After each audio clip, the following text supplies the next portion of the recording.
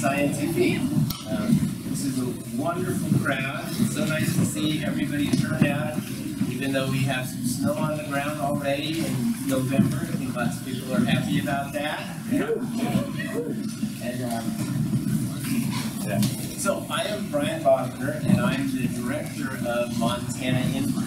And so Montana INBRE is the program that is sponsoring this event this evening. And so INBRE is funded the National Institutes of Health. And we're charged with building the research infrastructure and the workforce pipeline in Montana. And what we want to do is we want to fund and develop research that's done by Montanans for Montanans. And a big part of science research is discourse. Scientists need to talk, and people need to talk, but we need to have talk that's not just between people in academics and people in industry. We need to have talk that goes throughout the community. I mean, everybody needs to be involved with these scientific discussions, and that's really the idea behind this event this evening, is to have an environment that is a semi-casual environment and have a scientific discussion. Okay, I'm uh, Yes. try to talk a little bit louder. So, um, now, so the, the format for this evening is, um, our guest speaker, Tomas Gedeon, is going to give a presentation. We'd ask you to hold your questions during the presentation, but then we will take a short break after the presentation. Everybody can, you know, stand up, stretch, refresh their drink, and then we will have a question and answer period, okay? And also during that little break, we'll have a raffle also, so don't lose your little raffle tickets, okay? So I'm really excited to announce our invited speaker tonight. So Dr. Gedeon is a professor in the Mathematical Sciences Department at Montana State University. Um, he's a native of Slovakia, um, and he got his bachelor's degree from the University of Bratislava, okay, and then his PhD work he did at Georgia Tech Institute, and his research areas while a student were studying chaos in one-dimensional dynamical systems and cyclic feedback systems. And for those of you who don't know, chaos is actually a mathematical theory. It's not, it's not just your son's will. So, um, Tomas has, over the years, has accumulated nearly every award that MSU has for professors, both on the teaching side and the research side. I think you're going to see he's an excellent speaker, and you know, he takes mathematics and he doesn't make it simple, but what he does is he makes it so that you understand the importance of mathematics. I think that's one of the inspiring things about listening to Tomas talk. Um, so, said, he's uh, given the Kopriva Lecture at MSU. He's been awarded the Cox Family Award for Research and Creative Scholarship. He was also MSU's Letters and Science Distinguished Professor, is the highest honor that the college bestows on uh, professors. And his research focus involved integrating mathematics with cell biology, neuroscience, and biochemistry, and also he's a great mentor of students. I think tonight we're going to hear about a few really fun topics Thank you very much.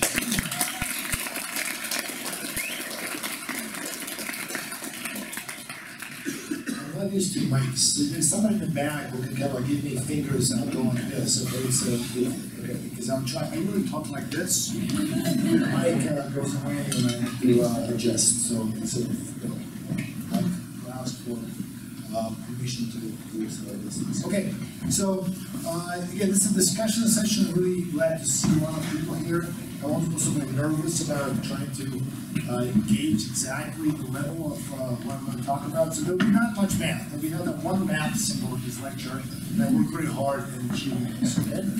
Um, uh, but let me know if you have any, you know, there's questions at the end, but if you have don't understand something, you can stop me.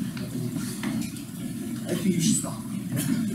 So it wouldn't it be nice if we can predict some of these things? These are problems which uh, you know, economy, weather, earthquake, cancer. Here's my one for Montana.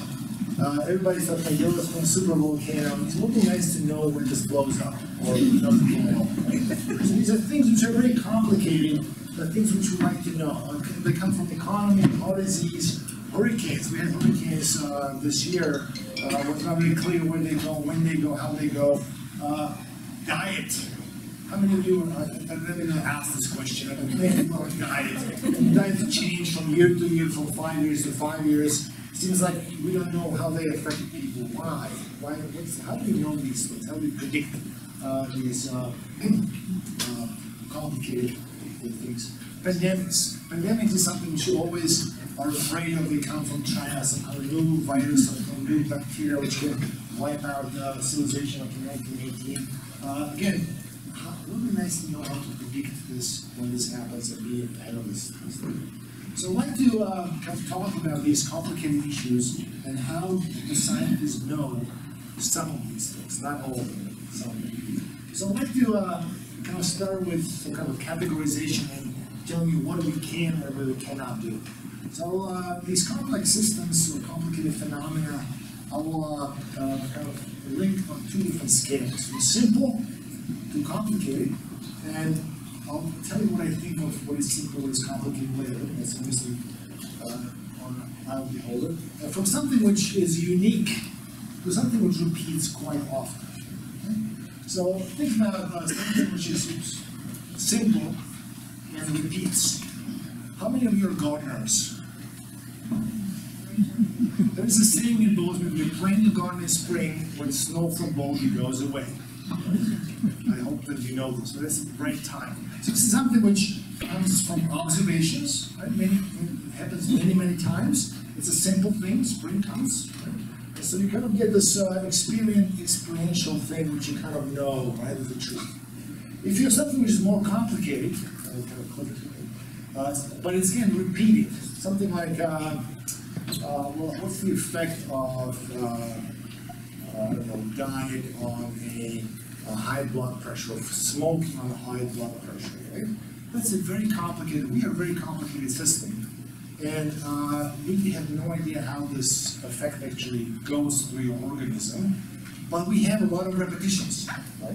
All of us, as not a million million people are, are repetitions of experiment so we can tease apart, uh, somehow correlations, which things are probably related to which others. And many of the medical, uh, the devices we get so we can use statistics on complicated systems which repeat. But sometimes you have systems which don't repeat. Right? We, we- it's a complicated system, and you do not have multiple observations. The climate will be one of them. Climate will change, it's changing on Earth, and it happens once. There's no other, uh, kind of repetitions we can do and do statistics on this. And I will talk about that part of this rectangle, quadrangle, uh, where the modeling takes place. Okay? What's the last piece? Unique and simple? Well, it's like, uh, uh, in the morning I spill my coffee on myself. No science out there, right? It just happens. Uh, so, I'm gonna concentrate more on the, this should be plugged in. Um, then let me concentrate on the right-hand side of this, on the complicated part of, uh, this equation. Uh, and see, uh, how, what kind of phenomena belongs there. So from unique to complicated, weather and hurricanes. Now that's kind of halfway between, okay? If it's something which repeats, weather repeats every day, uh, hurricanes repeat every year, there's probably ten of them? But they're not always the same, they always, you cannot really, the, the weather is a little different, the conditions are different, the atmosphere is in a different state, uh, the winds are different, uh, you know, there's little slight variation, so you can kind of use statistics on it, but not quite. It'd also nice to understand the underlying causes of what, how things work and make some kind of mathematical model. Um, these are kind of maps we see all the time, heart disease prevalence, right? You get the statistics, it's a complicated system, there's a lot of repetitions. Cancer, economy, again, the economy happens every year, but there's a, there's a drift, there's difference that changes from year to year to year. So it's not the same thing today as in nineteen sixty-eight, clearly, or even two thousand. So there's a repetition, but it also in some sense unique, so it's a mixed bag. there's some things which are definitely unique, right? Earthquakes happen so rarely that you can't really do any statistical analysis of how they happen, if you do. That happens every six hundred thousand years, uh, that's, there's nothing sample that you can do. Yellowstone volcano, um, climate, one at a time. So, in the top part, we repeat things, you can use statistics. But at the bottom, what I would like to talk about, you need to do something else, you do models. So, how do we predict these events which happens only once, the unique events? Sometimes we are wrong. Again, I hope there's no geologist in the house, but I don't think. You can tell me if I'm correct, but there's not much known for the causes. We have some ideas of how things work underground, how the tectonics work and so forth, but that's not enough to have in-time prediction of earthquake? Or, we know Yellowstone goes up every six hundred thousand years. Why? We don't know. That's what happens last four times. But why it happens, I have no idea. Right, so this is unique events, but I don't think we can this one do science. Other things, though, we can try to do some scientific, we can understand the causes and try to put them together in a way that we can actually predict the future. So this is the stuff which I'm going to talk about. Um, Many of these, the science is known, I see you don't see it, so I'm trying to read everything, okay? Science is known, at least, you know, to a large extent, but these are complicated systems. And I want to focus on this particular part, because that's what we try to do, deal with complicated systems. And I'll try to explain in detail what I mean by complicated system. So what are these complex, complicated systems? And I'll draw these kind of funny pictures with these dots and arrows. Actually, I should just go back. Okay. Um, so these dots can stand for abstraction for any event or uh, phenomena or something like that which can happen. This could be, uh, you know, one of these dots could be uh, know, the heart disease incidence, right? And the other one could be smoking. And from an arrow, if the smoking is um, I feedback on that. That's if, uh, that one of these things affect the other, so arrows these effect. Right? So there are many parts which affect complicated behaviors. It's not just a simple one explanation, there's many, many explanations. And then uh, there could be multiple different things which influence one particular outcome. Um, and we talk about feedback, I got feedback on the back. Um, so the feedback is a problem where I have two different, different uh, phenomena and one affects the other, the other affects back the first one. It's very difficult to understand what will happen kind of in the long run. Here's the example which I'll come back in the climate uh, part of this talk, which should be short. Uh, where, you know, if you have more global warming, you get melting of the ice. So that's kind of one effect.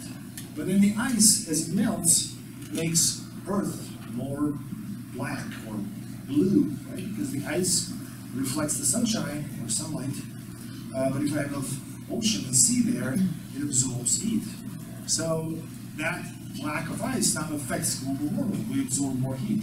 So global warming affects the ice, ice affects that. So these feedbacks, and you don't know where it ends. This is a positive feedback, negative feedbacks. Uh, global warming is going to promote, at least in some places, growth of plants. Plants fix carbon. So global warming affects uh, carbon sequestration in a positive way, so if you get more carbon out. It should be good for global warming. Now you should balance all of these things, so there can be multiple feedbacks, and that's what you know, difficulties are. So these feedbacks make things complex. Indirect feedbacks are places where you affect you know, yourself through a loop of multiple intermediaries. And all these, the systems have these kind of structures because we have to analyze um, precisely. Okay? So, um, that was kind of the classification. So I'm trying to go and talk about things which are unique, not repeated necessarily, and need to understand the, essence of, of the problem of physics or causes to have some kind of a chance to, to predict the future, but yet system is complex. Well, we've been around this uh, for a while, right? So if you uh, think about our flow on the left, this is my attempt to show you seasons. Right? So Earth has seasons, And we need to plant our gardens, our fields in the proper time, because otherwise we'll not have food to eat. Now, it's better than it used to be, um, but you can see these rhythms, right? You see moon coming around, you can see celestial bodies, uh, do some kind of very regular behavior, and so since time immemorial, we try to uh, explain and understand how this works. So, um, you know, the very question is, can we understand this? Can we know when to plan? Can we know why things happen? This could be repeated stuff, what happens every month, but also one at a time, which is uh, eclipse or some comets coming through, what why, you know, this is kind of something we want to do. So we try to, on this kind of side note here, explain to you how we came from that very primitive kind of like, oh, when Baldy uh, loses snow, we should plant the garden, to something where we actually do, do some mathematics and physics and can predict uh, real uh, world events. So I'll go briefly through these four guys, Galileo, uh, Aristotle, Galileo, Descartes, and Newton. Uh, this part is for my friend who taught me this. He's a philosophy of science in Prague, and I was very impressed by this um, part. So he can try to tell you my explanation of what he told me. Um, so the question is, how do we how do we explain motion? Do understand how things move around us? Moons, stars, sun, seasons.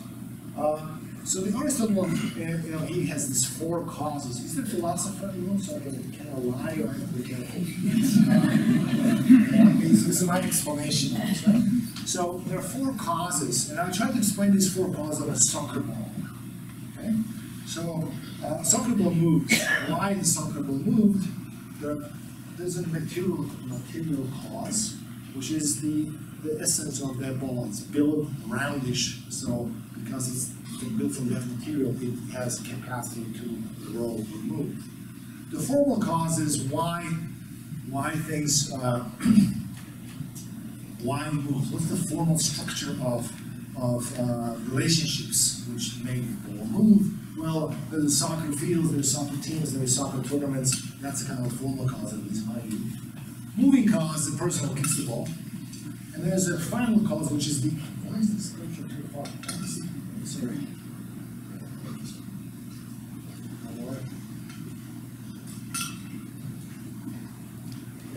This is the goal of the object, right, which is a goal, scoring a goal.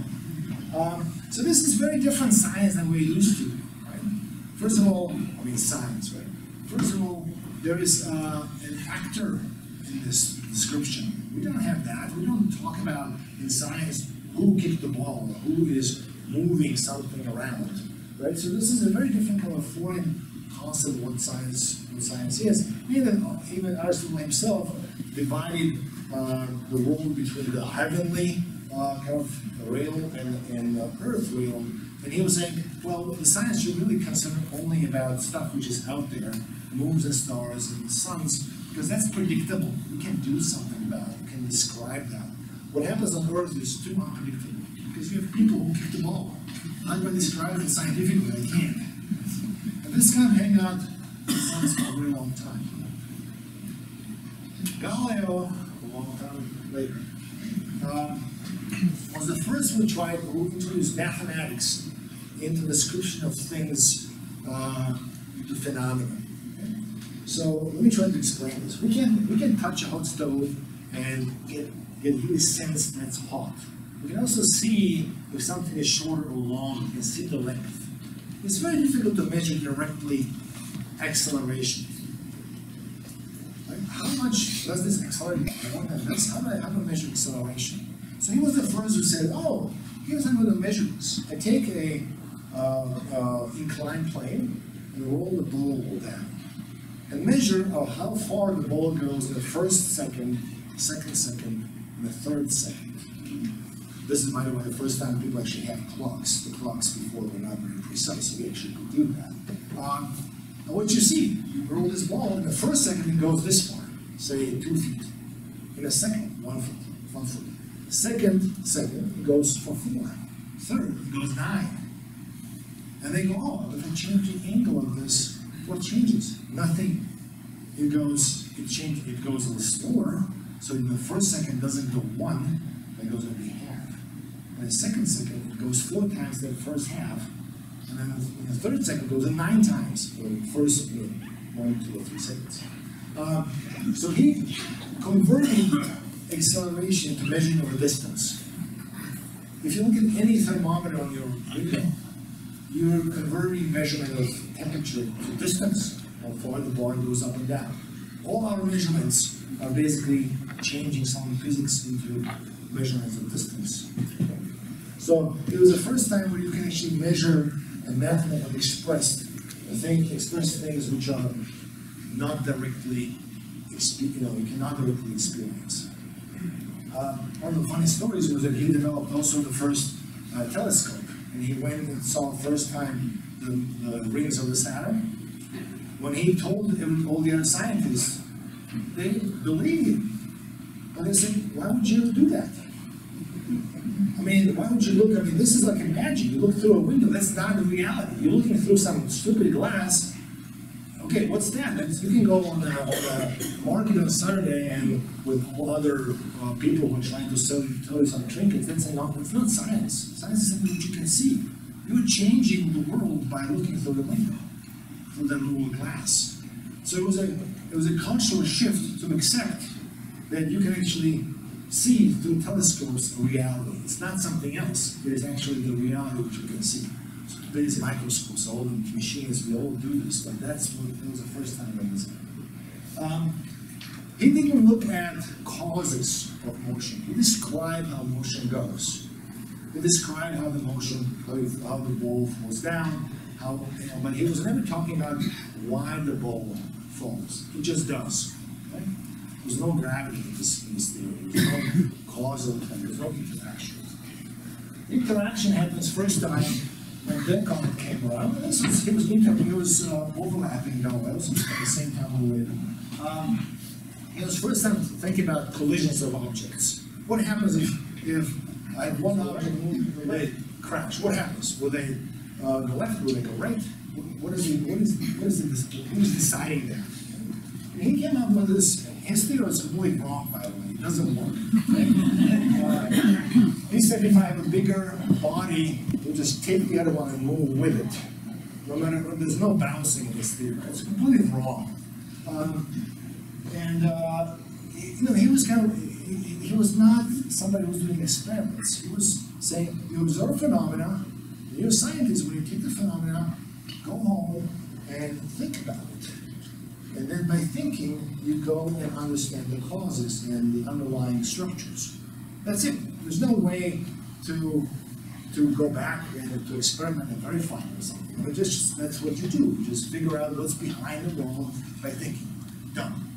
Um, So, Newton changed that, and I'll talk about that next slide. So the, um, the, the the breakthrough here is that he realized that if I look at, uh, motion, for instance, it doesn't matter if it's blue object or green object, or it's uh, soft or hard, or big or triangular. What matters is the amount of motion, right? This is momentum. So there's only part, some parts, some attributes which decide the outcome of, of so this interaction. That allows you to abstract from the world only those quantities into your kind of imaginary modeling world, this state of the system. So the state of the system is a place which is not the real world, but it's a world which only contains those attributes which are relevant. So that's what we'll keep from that. And then Newton came around, and uh, the difficulty with celestial bodies, which Newton saw for the first time, is that, you know, um, these bodies, they affect each other. And that, that effect changes every single second. If you, these guys are far apart, you try to switch the videos on here. Um, the position, how far these objects are, objects are from each other, you know, determine the force, how much, how much they actually affect each other. So there's a position affects the force. But it's, um, the force then in turn affects how these things go around. So there's a there's a kind of a feedback going back. And the question is, how do I, how do I do this? How do I account for these balls when they constantly change positions, the force that changes, when force that changes, they change position, how do I, how do I get this done? How do I compute all of this? There's no, uh, kind of pause where things would kind of stop to allow me to compute. Well, the answer is, oops. I a little lightly here, I think. Uh, One more. Ah, need to do mathematics. So he developed differential equations, you may have heard this word, you know, probably many of you do, because there's one of differential equations, as a way to describe this kind of continuous change of all the variables, and then calculus to be able to solve that. So from that point on, uh, here is the kind of science as we do it today. This is kind of abstraction of what he has done, but we go around and postulate two things. We postulate causes. What cause, how these things interact, how these bodies talk to each other, what is the interaction between them, which we call forces sometimes. And then extract from the world these kind of initial data. What is the state of the system right now? And then by state of the system, I mean moon position, earth position, sun position, and a satellite. What is it right now? And then I know how the forces react between them. Once I'm, that's my kind of homework, I'm done with that, that's good. Then I can use differential equations and calculus to compute how the system is going to evolve, right? So compute, I would say measurable phenomenological outcomes just means something which I can measure. Because forces, by the way, you cannot measure. Did you ever measure forces? Well, as a physicist, I should be careful. Um, you can measure the effect of the force, right? The force is like this accelerating, it's not, you can it, it's like an abstract thing, cause, which Newton kind of postulated as didn't exist. And he had troubles with this. I had troubles with this in high school as well, right? Because you go and say, oh, so Earth and Moon have some force between them. Now, Moon moves, and immediately the force changes. Who talked to from Moon? Who pick up a phone and call Earth and say, oh, by the way, the force now changed immediately, right now. Right? How do you act on distance? How do you act? How does sun and moon? You know, there's a speed of light now right? So how do you change the force immediately if these things are so far apart? So he and everybody else around and that one felt there must be some medium which which mediates that force. Right? I can I understand. I do this? I can push this away. But if I do that, I say, hey, it moves away. He doesn't. Oh, hey. That's awesome. Maybe I have some real force. Right? Star Wars force. Uh, right, so there was some kind of abstraction, but you put it in, you assume that happens, then you compute how things, what things are going to be next next day, and then you measure. And you say, is it there? And if it's not, maybe I postulate my, my causes, my forces differently, maybe I should adjust my model. And you repeat this process again and again. You don't have to do this with, physics and with uh, celestial bodies, you can do this in any other area. So this is what we do in science, basically. And we do this in kind of this abstract space or state space where we only abstract things with matter. All right. So from Newton, not only phen- phenomena, but also the causes and effects and ontology, the things which cause things which are behind other, other science. Uh, so again, predictive models are predicting future state based on current state and the interaction. So this is how we got from the ancients to today. Let me try and talk about briefly about these things which I advocated you. Sorry, thank. Um, so we all hopefully saw solar eclipse this summer. Pretty amazing. Um, so how do we come? It was, pretty. In, in, I was in Idaho, and this day, 11:32, the solar eclipse came, and it came 11:32. That was very impressive. Um, what's the? So let me just go going through this of uh, um, outline of how things are computed. So we do know we can measure with great precision velocity and position of celestial objects. Uh, Earth, Moon, the Sun, all these places. So check. That's the initial condition in some sense. And then we know the Newton's law, or you know, the general relativity, or whatever you wanna compute with, uh, which are the causes. So both of those are easily accessible. So you can run your differential equations, your, your compute position at every future time. So if you compute a position, like it's on the bottom picture, where you have moon blocking the sun, you compute exactly when on Earth you can see at what time you can see the eclipse. So in some sense, this is an easy problem. It has been a long, long time, a very difficult problem, but compared to the other problems we'll talk about, this is not difficult. There's only three bodies, essentially, and everything is known and computable, done. More complicated problems are these. okay? So the weather forecast and hurricane is kind of the same issue. Um, and we know the science. The science is mostly the science of heat, evaporation, uh, motion of fluid, both the ocean and the, and the air around it, how heat, how it heats up the atmosphere. All this stuff is kind of known. The problem is uh, with the initial state. Right? We need the initial state and the interactions. Interactions we kind of know. What's the initial state? Well, initial state for, say, hurricanes would be, well, you know, temperature, cloud cover, moisture, pressure of atmosphere and the ocean, perhaps uh, maybe 5,000 miles miles square, right kind of between Africa and South America. Now, not like approximately every single point at some time, at noon of uh, September 1st. That's difficult. That's difficult because we don't have a cap- capability of measuring it at, in, you know, in those kind of, all those different points and those values.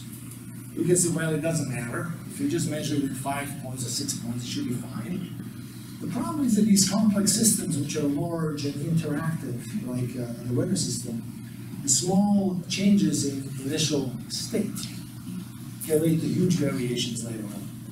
So if you go and measure west of us, temperature, wind, all these kind of variables which will allow you to predict the weather in Bozeman tomorrow or for next week, uh, if I know everything to the dot, I should probably be able to compute the forecast for next two or three or five weeks. The problem is we put a few more, you know, weather balloons out and measure it every hundred miles in three or four spots. That's the data we have as initial condition. But there's a lot of variation which we don't measure and we don't know the other stuff. And that other stuff can decide whether in six days it will snow or be sixty-five degrees here or fifty-five. And so if you notice, you combine this kind of modeling and approximate initial condition with a lot of statistics uh, of the previous, what happened in previous settings, and you kind of get a forecast for five days. That's why we forecast for five days. If you want to go to seven, you'll be very wrong probably most of the time for six and seven. If you spend billions of dollars for more satellites, you can get slightly more precision, but maybe you can extend it by two days for, for, it's not worth the money. right? So basically, this is where we are. It's a complex system, we understand the physics, it's very difficult to, to nail down initial condition. Climate, again, this is my idea, right? Climate. Climate is a system with a lot of feedbacks. I mentioned some of these feedbacks before. You have this, uh, the climate influences growth patterns of plants, which changes how much CO2 is being uh, put into the plants and sequestered, which may, again, influence how much know, the climate change progresses. That's a negative feedback, right? Things get better. Uh, But you can also have the melting of the ice, right? Absorbs, now the Earth absorbs more heat. And here's the result of that, uh, which I got from the internet, which is basically telling you, this is the winter ice on the North, North, Nordic, Nordic Ocean, uh, which uh, dramatically shrunk over the last 22 years. This is a summer extent of the uh, north, north, uh, north, uh, Arctic Ocean. So you can see that there's a lot, lot, lot more reflection of heat over here and over here, so it could be a positive feedback which makes uh, the situation worse. But what we could do, this is kind of a model which again got off the internet, this is kind of what you can compute with your modeling stuff.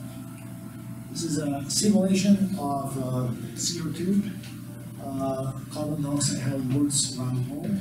This is a big fluid tank, the whole Earth. Here- Here's how the CO2 is propagating around the world and, and changing. This is based on satellites and models. Uh, the red is a lot of CO two that's in the northern hemisphere, blue is kind of under, uh, uh, below average CO two. Um,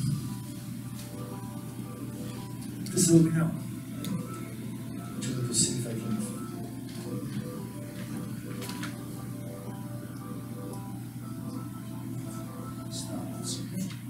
So we now know some of that, we can compute some of these things, and we kind of know the science. Not quite all of it probably, but we know the majority of the science. Again, the problem becomes the initial condition and the resolution.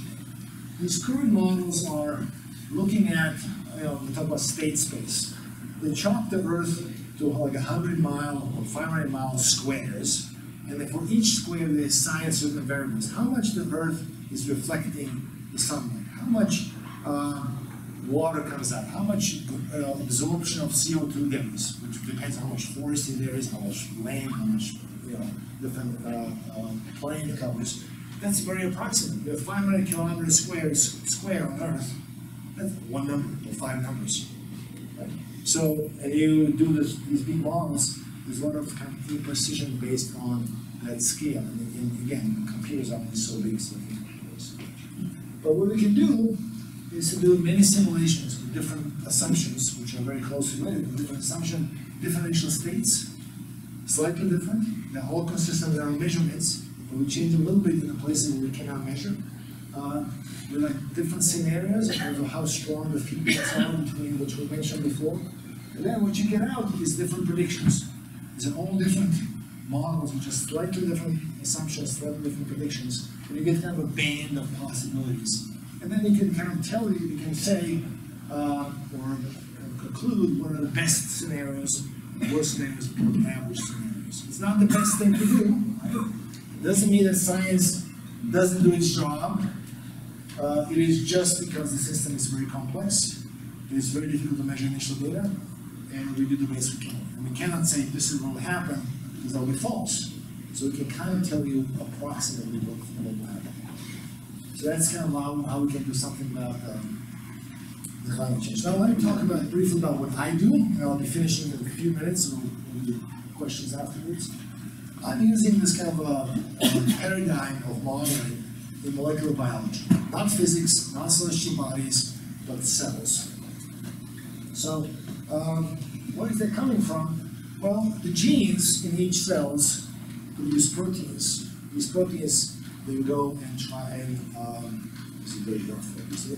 They, um, control some other genes. There's a feedbacks all over the place. Genes talk to other genes, proteins go to other, other proteins.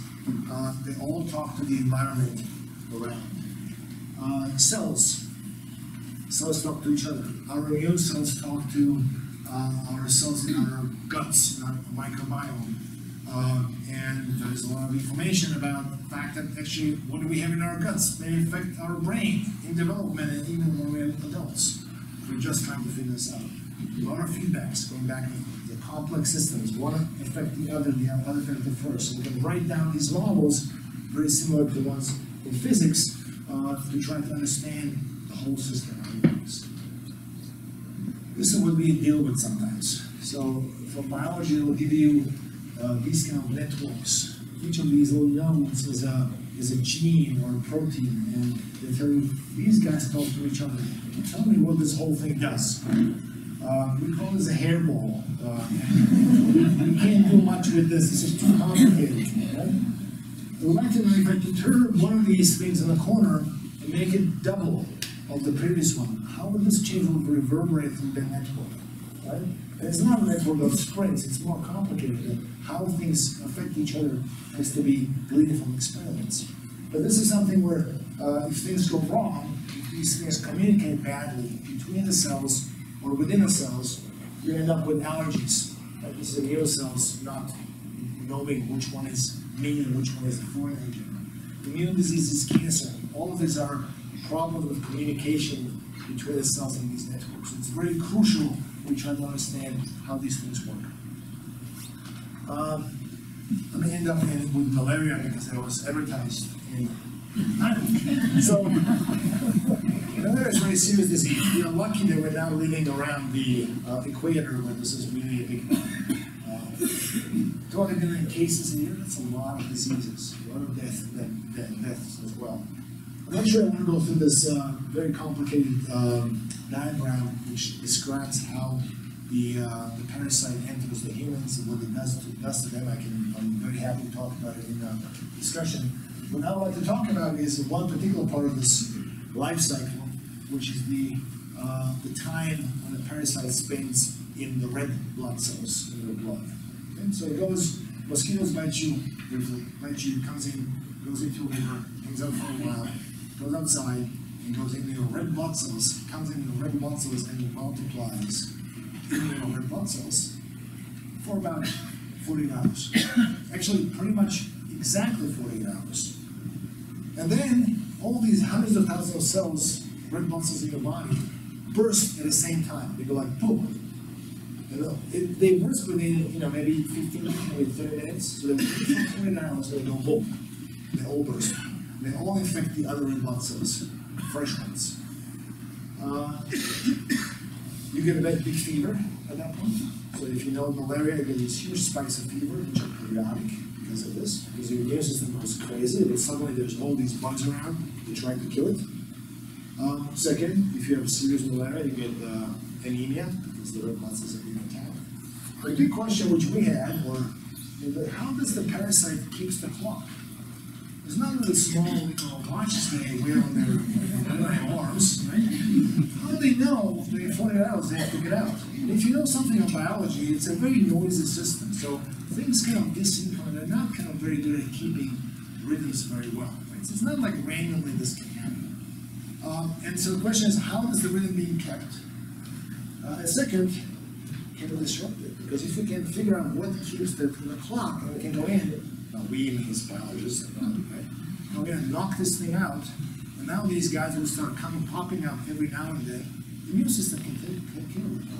It will definitely disrupt, uh, malaria very seriously. And this is not antibiotics, this is not something which you can get immunity for, so this will be a very good way to try to do something with malaria. So this is a data which nobody actually saw so far, so this is the data which actually we got from, uh, patients from Thailand. A very complicated way how this is done.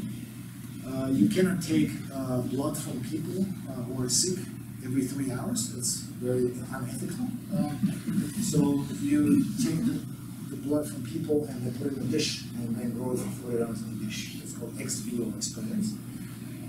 So let me see what you see here. Okay, so each, uh, okay. Each line, so in the bottom you have a parasite on top of the human genes. Some human genes, human has twenty-six thousand genes, so this is a small fraction of them. Yellow means high, blue means low. And on the bottom, we have a, this is a forty-eight hour cycle. This is 48 hours. Each column is three hours. First column is three hours, second is six hours, nine hours, twelve hours, and so forth. right? Each is one gene. So that this wave which you see on the bottom is really a wave of prop, wave of expression. So there's some genes which peak early in three hours. And then the next gene, next set of genes peaks in six hours. The first genes go away. So this is kind of going like a big wave, and the second wave comes up, the third wave comes up, it's like a, it's like a wave of propagation in the back. And almost every gene in the, in the parasite is periodic. The second one is genes. Humans also have rhythms. Mean, you know that if you uh, fly to Europe, you get pretty groggy for a while. Have a circadian rhythm in us. If you wake up in the morning, you get hungry. If it's not o'clock at night, you get sleepy. That's all done because we have internal clocks. And so there's, a, there's some of these clock genes which you see on top. You don't see them as well, but there's definitely yellow bands of expression. And the big questions we have is, uh, you definitely see periodicity here. So these things are clocking. Things have a clock. Now the question is, does this uh, parasite listen to humans? It could be just having its own clock and not really worry about humans, or it can kind of say, let me, let me look at this human clock and try to adjust myself to humans, uh, so I can I know when I can get out. Um, and then finally, what genes in this, in this are the ones which actually maintain the rhythm, which one is listening to these clock genes and pop out every now and then. which are the number of Christmas lights at the end of the tunnel, which are actually the real one drivers. Because if you know the drivers, so, a lot of math, three years of work. Here's what is come, uh, come our current, uh, idea. So this is another set of data from, the area on the left, on the right, is our idea of thirteen of these lines which we picked out. It says, these are, this is how they should talk to each other. And I think this is the core oscillator which actually drives the Vitemax computer system. Now, we have no idea whether this is true, right? Because we just did some math magic on this for a couple of years. And what is now, what we have to do is to try to see if this math magic works on systems of the yeast, which we know the answer, so we can verify that this works. And eventually, we like to get, we know, we, we know somebody who can do the experiments, but they're expensive, so we don't wanna try them before, uh, before we know we do it So here's kind of stuff which we do with these models. Um, okay, my last slide. So what we talked, what, what I talked about here was all need to predict future for complex systems. And there are kind of two kinds, the statistical methods, which can be used where we have a past and record of these complex systems. And then mathematical ideas are kind of the only ones which can be used if, if they're unique, um, unique things, uh, which never repeated. But then you have to understand the causes and kind of the, the science behind that. right?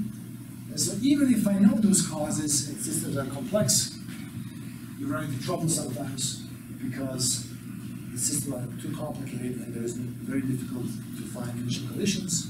It's very difficult to do these, do these simulations or experiments and the conclusions all think. So this is where we are currently, and I'm very happy to. Uh, I guess now, right? Is that right? Okay. Thank you very much.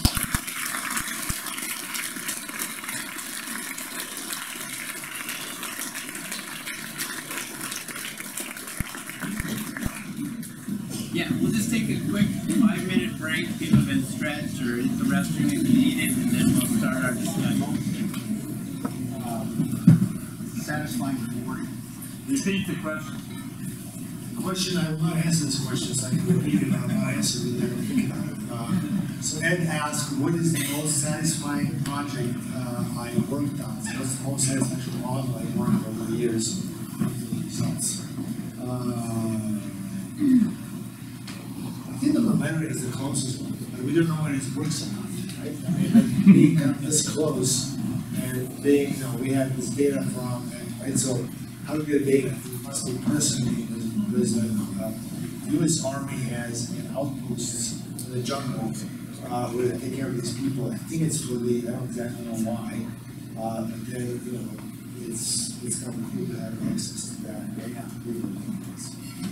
Yes, Uh, one of the laments of the man on the street is the weatherman can't predict uh, the weather for seven days, and then the uh, climate scientists are predicting uh, 10, 20 years. Uh, from your vantage point, uh, uh, how confident are you that uh, the climate scientists are choosing the uh, proper uh, possibility on all these uh, lines of the graph uh, for climate change?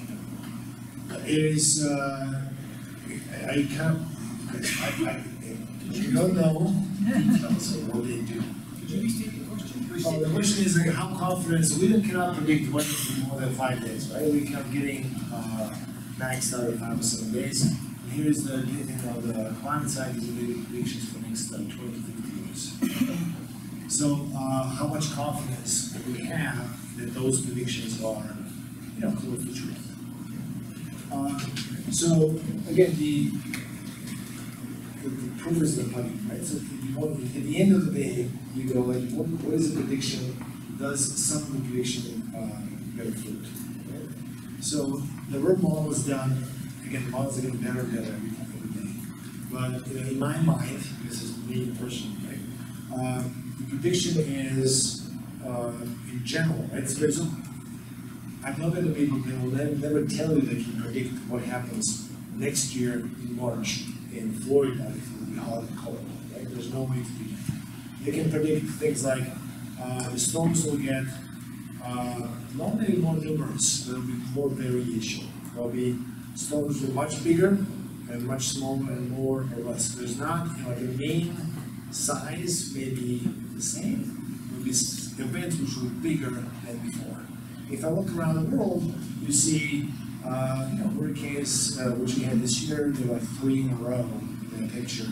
Um, that has not happened before, right? Because The of sizes, the size of the, they had a hurricane in Ireland a couple of weeks ago. right? I don't think it happened, it just, the- kind of strong ones never happened in that area, right? So it's not, it's not like this will happen every year, but when things happen, it kind of happens much more broadly, more, right? If it rains, it rains much more, if it- it's gonna be dry, much drier. So when the events happen, we'll be more variable. That prediction is seen to be kind of being fruit, right?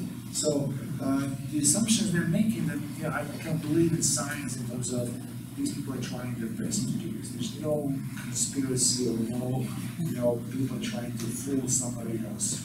And as, um, I know the process in the sense that if you make a mistake, there was somebody out there who's going to point out mistakes very happily to you do something else, right? So this is how the science works. So if there is so many people working on this, uh, the consensus is usually correct. That's like how my, my, the- my choice is. I cannot check the assumptions individually, but that's. Questions, comments? Yes, say again? What is Hamiltonian? What's a Hamiltonian?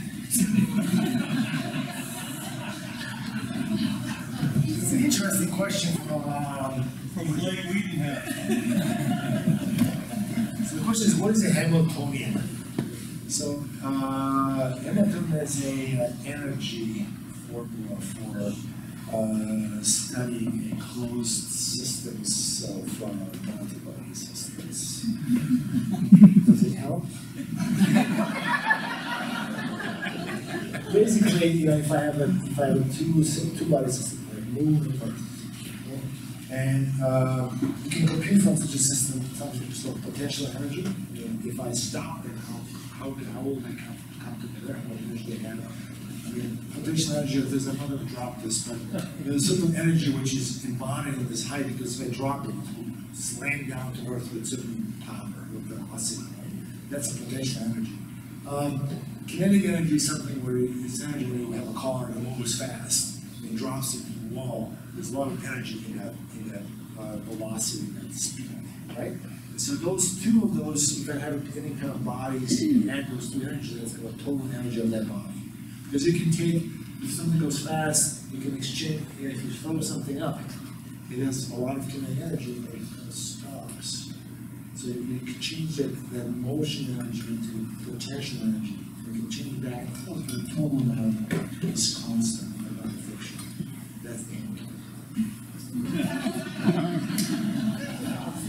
I have to talk to Blake. So, you talk about making these predictions, we know the cost, it's a science, but we don't have enough data for the initial states or predictions of wrong, right? The approximate. Or we, we have errors, we can't go past five days or what. But now if we go back a couple hundred years, they thought they knew the underlying causes too. Maybe they invoke religion, celestial events, whatever, but they knew the causes and they had the same excuse. So are we being arrogant that we really know the science that well? Have we reached the end stage or are we not as good as we think we are? So if you asking where, I'm arrogant to say. no. You're not a scientist, you're a math- mathematician. I think so, so, uh, right, yes and no, it's in, the climate, right? I think we know the main feedbacks, right? There's a lot of, there's a lot of things that we do not know, right? I mean, there's a lot of, you know, it's, got the whole, whole planet-wide awareness things, but how, uh, the change in, uh, you know, you, you, you have global warming that will bring more dryness. Things that some will dry out. How will that affect the growth of uh, plants and such? How much CO? All this is it's very complicated, right? So we understand maybe how individually these things work, but when you put it into this huge network of interconnected pieces, that's where difficulties happen. right? So, um, in a way, like, look at the genome, right? You, you're gonna say, okay, if I took this one, this one will go up and down, right? So I know the hinge. But what happens if I put in the head one? Right? Suddenly I don't know things. So, I, I, I don't know whether, I'm guessing we, there's not very surprising new science in terms of like, we can look at new forces, we get new, completely new things on kind of macro scale coming up, but it is just too many things to know. That's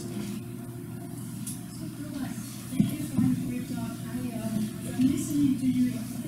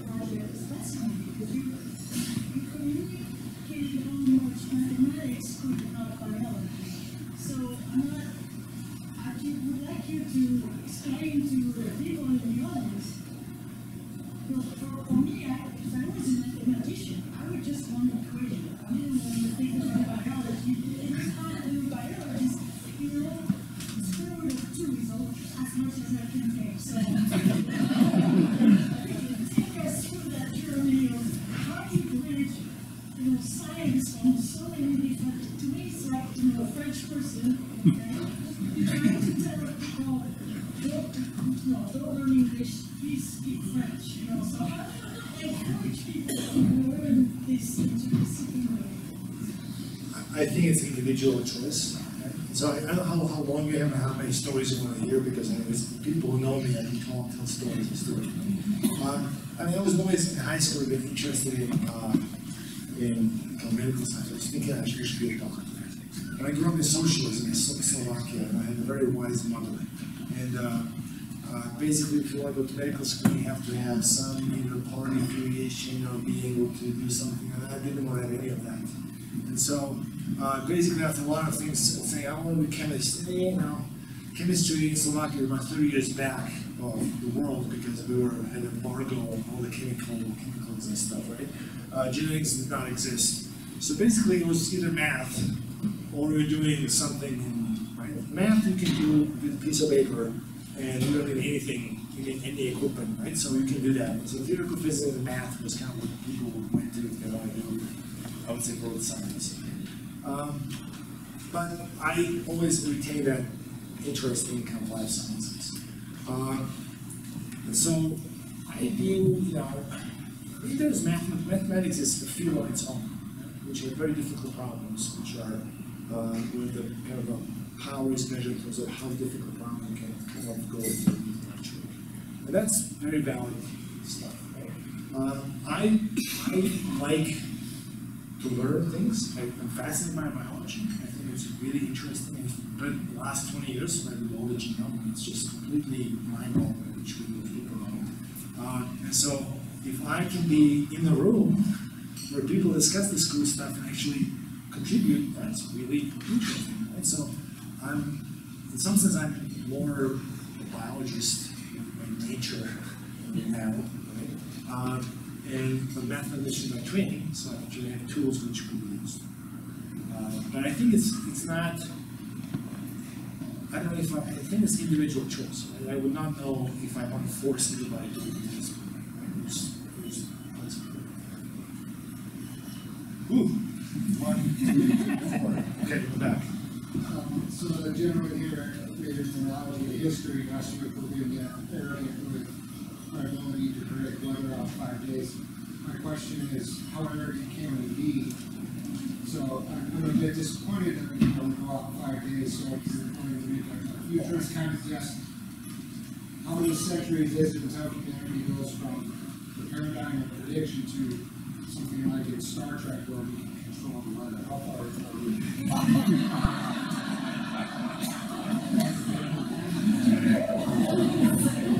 So, in the weather, I mean, so, oh, the question is, uh, so, uh, how far we are from a situation where we can not just, you know, now we can predict weather for five days, right? But can we get to a place where we can control the weather? not just know the weather prediction, but actually do it. Um, so I think it is, right, so you have to have levers. So when we talk about malaria, one thing is to understand it, then you have to have tools to actually tweak it.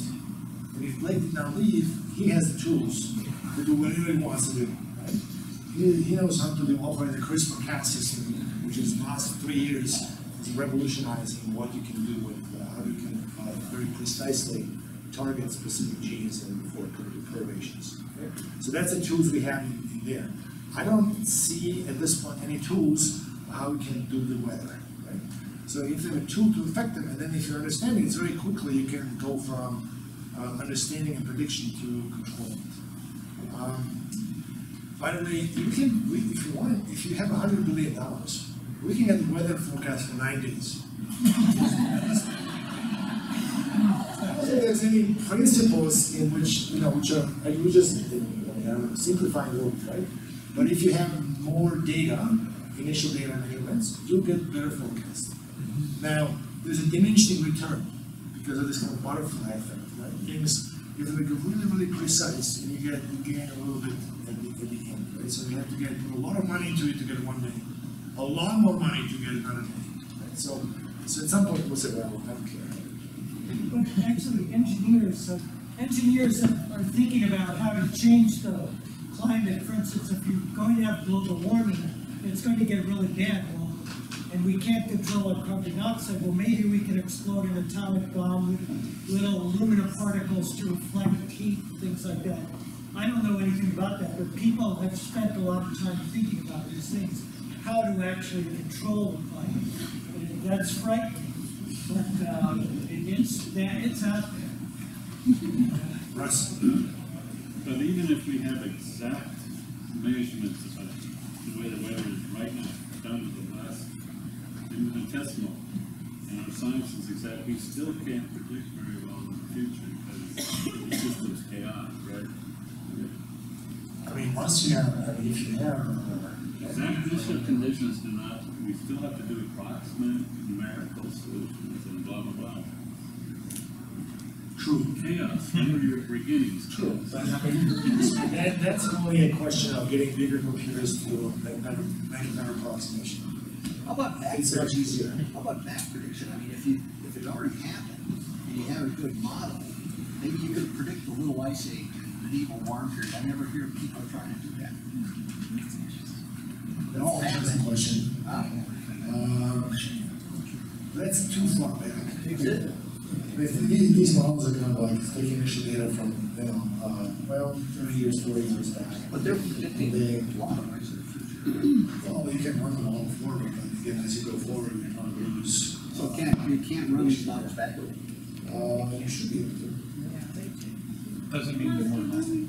I'm not sure how, well, the question is, why, uh, why we are not, you can probably go and try to test the models of, uh, of the climate going backwards. They, they don't go backwards, what they have done is postdiction is, is, is, so they, they can run and actually show the variation. So you can run probably, say, so I think what you're saying is that, so, so this, this is a probably PD, you can run it backwards. I think that's what, the fusion doesn't. Fair law, it's not- it's not what- But they don't, they don't tell us about it because it must not work. No, no, no, no, no, no.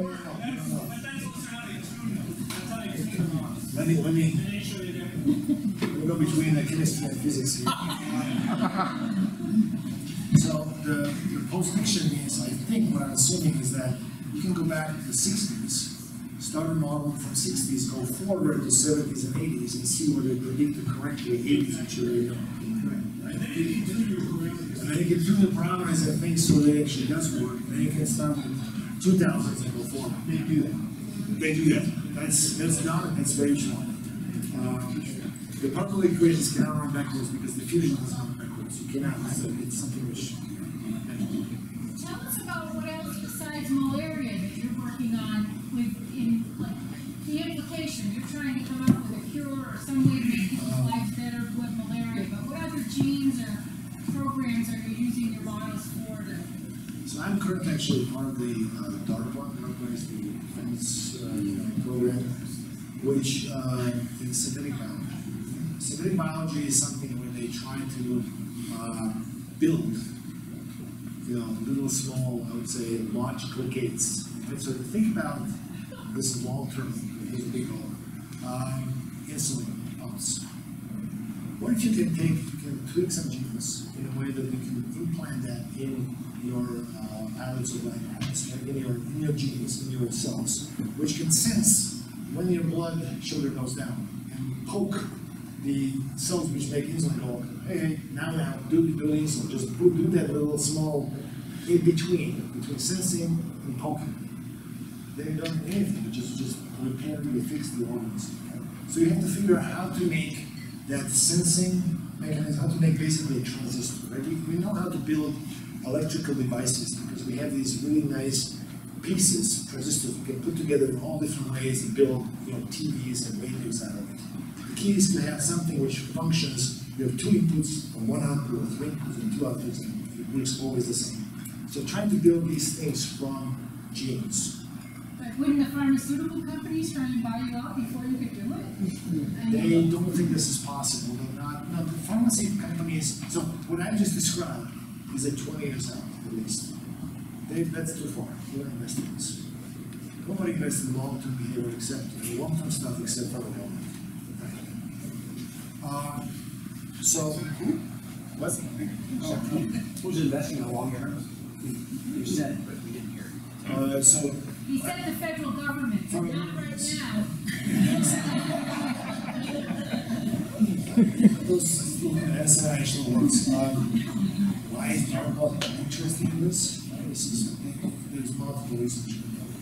Uh, but this doesn't work. So these people, they design very nice, uh, these kind of circuits, almost like an electrical circuits from genes. They put them in cells, they put them in three different labs across the country, and they don't quite work the same way. They don't know why. Is it because the biology is not quite right? Or Because people are doing experiments differently. So they try to figure out uh, where the issue is, and they need models to predict when these things fail. Uh, again, this is, we're not building anything like that. We're building things where, well, not we, but people, I guess. Um, just trying to do reproducible parts, which you can build in cell, and put them together.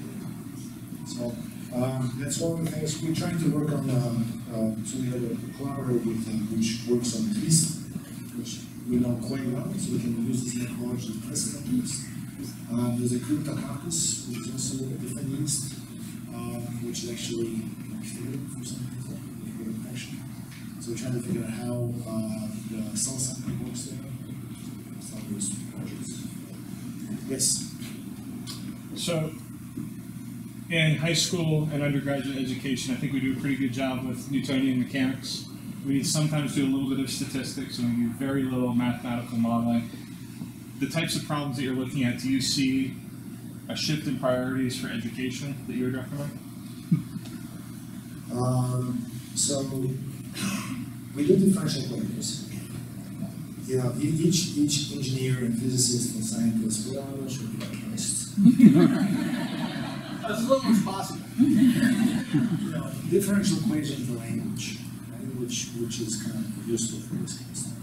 I mean, statistical modeling is also good modeling. Statistics is not, you know, data science.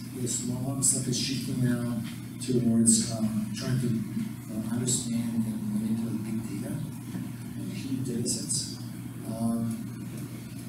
I, I think there will be, I heard some discussion about medical schools prerequisites. Medical schools, um, later in the future, the, the medical professionals will have to understand, um, and really understand kind of the outcomes of. Because you come with a model and say, well, there's twenty percent chance of this theory of course, but if you change this assumption, you get this. You need to understand what does that mean for the patient. You don't need to understand the guts of how this thing is working, but you can have to understand the, big picture of what is possible, what is feasible, how likely things are. So that could be on the horizon, more quantitative uh, education for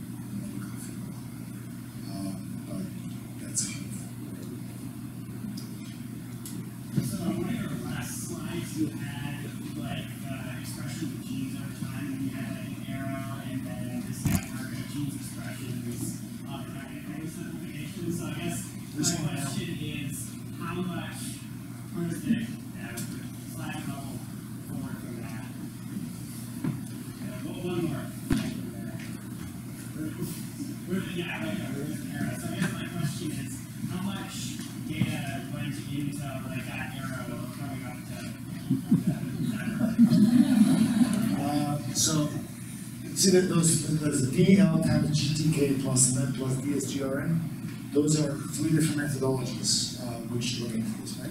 And some of them are, some of them I believe in really well, and some of them are really ad hoc. So this is the, the first two are trying to, uh, classify, uh, these genes as, you know, based on kind of experimental evidence in other systems, the things which are usually clock genes, or uh, have a much stronger periods, have certain features which you can statistically test.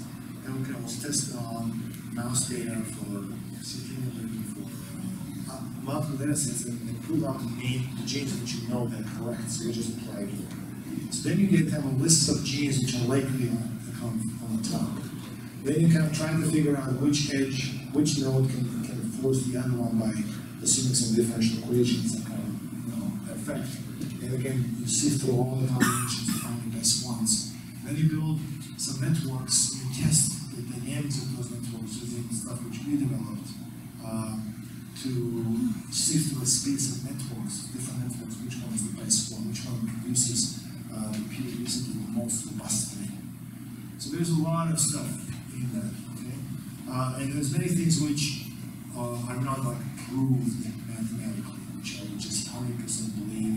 Some are kind of like from experience, from biology, and so that's why I'm not hundred percent confident in the right now, because there's a lot of assumptions which were done on the way to, to get. Reasonable, but they may not be good. So we need to test it. Good question. See, I have, I have my students here as well, you know, so my friends. They it's great. Any other questions? There are some questions we have. So this idea of sensitive dependence on initial conditions, which might be a problem. Yeah. Um, what's the, why think the world is like that? I mean, is that, is that a math, I mean, it's a mathematical idea, but, I mean, maybe weather's like that, but maybe genes aren't like that, maybe, I don't know, lighting isn't like that, I mean, I, is it, so how do you, I mean, you, This is a, this is a professional philosopher. The question is, um, right, there's a sensitive on initial condition, which is the chaos, which we kind of touched on, but didn't talk about much, as I can talk about a little bit more. Um, is that a mathematical phenomenon, or is this something which world is built, why is world built this way? Or is it built this way? Is it something which world really is like that? Is genes like that? Weather is like that? Is it, or is it just our imagination because we made a model that way? That's the question. As always, it's a very difficult question. Uh, from from fiance. So why, so again, what's this of the imagination conditions?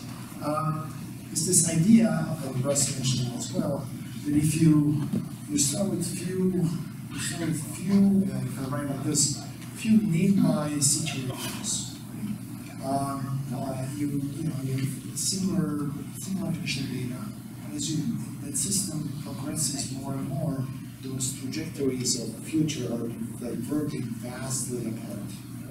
They kind of go, they go, so weather like, you have the same weather day, but if you just change uh, a little bit of uh, little hot cell on top of the Bridger Bowl, and a little bit colder weather down the Big Sky, maybe that will have enough effect that five years down the road, uh, you get completely different forecasts. So small changes may cause big differences. Um, so my view is that complex systems are like that. If you have a complicated systems, that's what is the uh, kind of default state.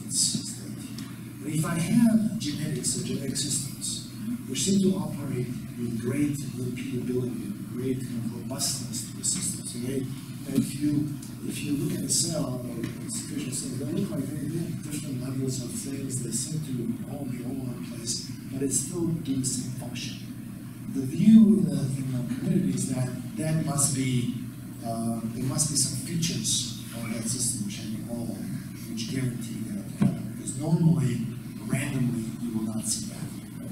The system is too complex, if it's complex, it should behave very, very, very unpredictably.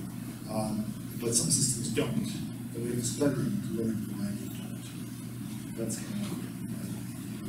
So I think the world is like, for complex systems, it's very difficult to predict. Oh, Science is good enough to predict that you're using a microphone and you have a computer involved. There's lots of successes, it just is there's more variables and more it's, it becomes harder. Yeah, you have to work on it. So the point is that you have to design very carefully your transistors and things which are robust to heat and this and that, because if you don't, things don't work. So, uh, natural systems are more, there's more variability. Um, and, uh.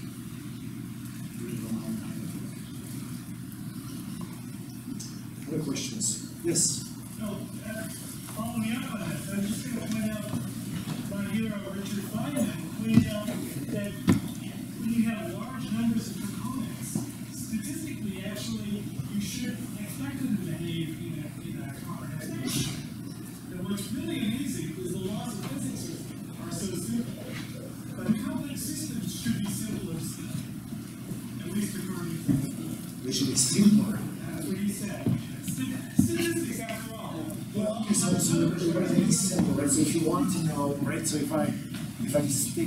Stick uh, what, how many, ten to the seven molecules or a can of uh, molecules of hot air, right? Ten to the seventies is not big enough, but if you have ten to twenty-three, Okay. thermodynamics is, you know, that's. So I put those molecules in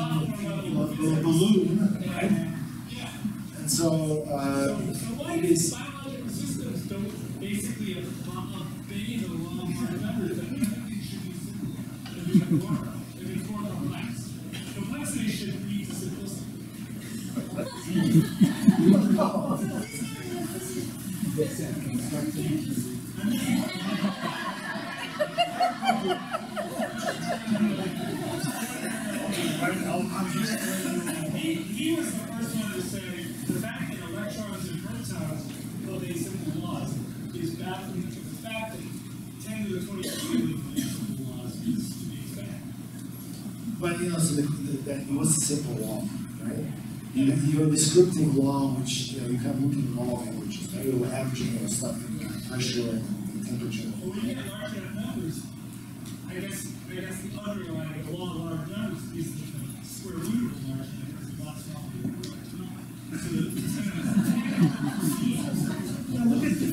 No, but I can, I can make, a- I can make a nice weather, weather forecast for, you know, which will guide for the next twenty years. It will be, uh, you know, temperature will be somewhere between, uh, minus uh, thirty and fifty, and it may rain, but likely with about uh, thirty percent. I'll be pretty, pretty close, I can get some averages done, and over a year period, I'll be pretty good. So it depends on your acuity and the level of which you want to understand. I mean, if you look at the almanac, right, those predictions are averages of the last hundred years, and they're not really off. Now they, Yeah, it's the day by day stuff. they must have this one. So if you want to predict how these guys are moving, What's the best chronometer you can use these are, this is a combination of differential equations, um, and data analysis stuff, so, uh, analysis of these, of the shapes of, uh, of these expression curves, uh, comparing them together, uh, searches in parameter spaces for a certain parameters, uh, probability, but basic underlying thing is differential equations. Which is the same tools as, uh. Okay, well, I think, did we